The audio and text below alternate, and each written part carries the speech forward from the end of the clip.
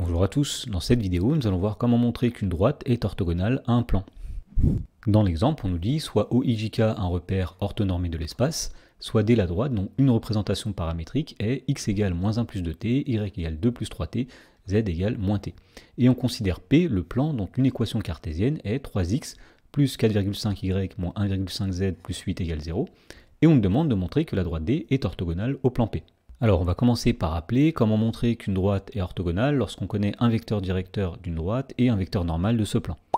Eh bien tout simplement, une droite de vecteur directeur U sera orthogonale à un plan de vecteur normal n si et seulement si U est collinéaire à n.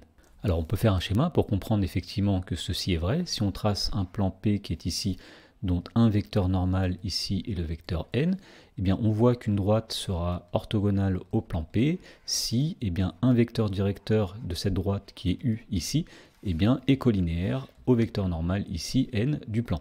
Alors si on revient à l'exemple, la première chose que nous allons faire c'est déterminer un vecteur directeur de la droite D et un vecteur normal au plan. Donc tout d'abord, un vecteur directeur de la droite D, ce sera le vecteur U qui est obtenu en prenant les nombres devant le paramètre dans l'équation paramétrique, c'est-à-dire le vecteur u de coordonnées 2, 3, moins 1.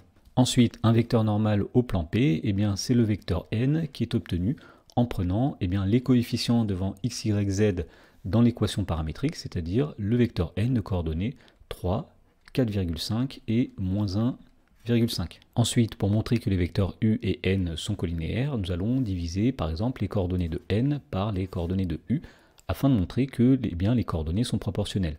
Alors les coordonnées de n c'était 3, 4,5 et moins 1,5. Les coordonnées de u c'était 2, 3, moins 1.